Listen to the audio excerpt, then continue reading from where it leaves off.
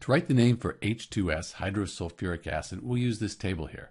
So we have H and S. We have two different elements, so we're going to use this part of our flowchart to name the acid. We'll start by writing hydro.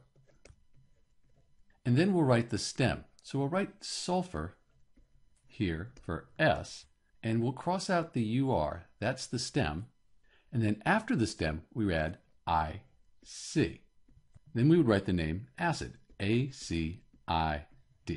Except that sulfur is a bit of an exception. We need to keep the UR right here in the name.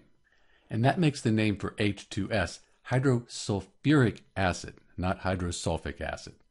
This is Dr. B with the name for H2S, hydrosulfuric acid, and thanks for watching.